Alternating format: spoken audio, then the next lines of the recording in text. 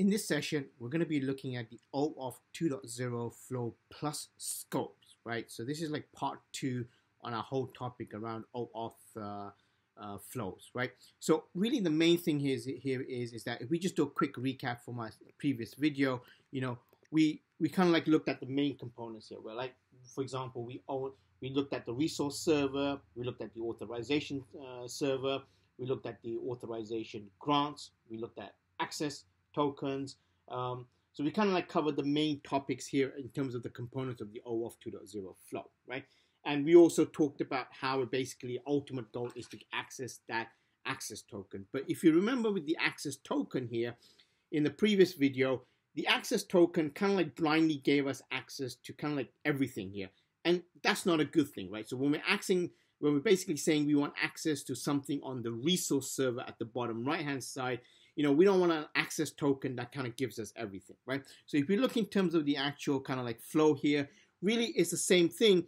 But this time when we click on the login page on our LinkedIn website and we're actually going to go over to that authorization server, what we're going to do in there, in addition to say what kind of response we want, the code, right? In this instance, we want an access code uh, uh, ultimately back, right?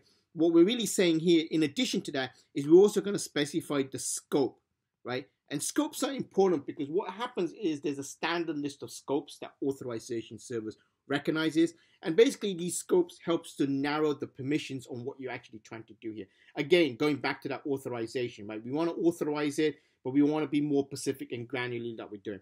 So again, in the login, what we're doing before, when we log in, we get redirected to the authorization server. The authorization server comes back, kind of gives us your the authorization grant, so nothing changes there. And then what we basically do is take that authorization grant, go to the authorization server. Um, so the same thing kind of goes over here. And then basically we're getting back our access token.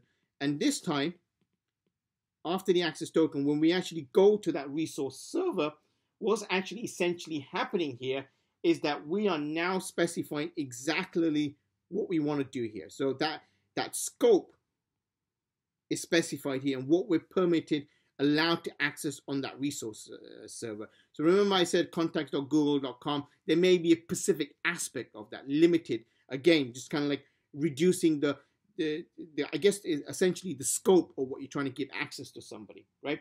And another key thing to kind of like remember here is the authorization server here understands these scopes, right? So these scopes that are coming in, they actually understands that. And actually what actually happens is that there is a whole standardized list of these uh, scopes available on the server here. So it recognizes when that incoming connection is happening.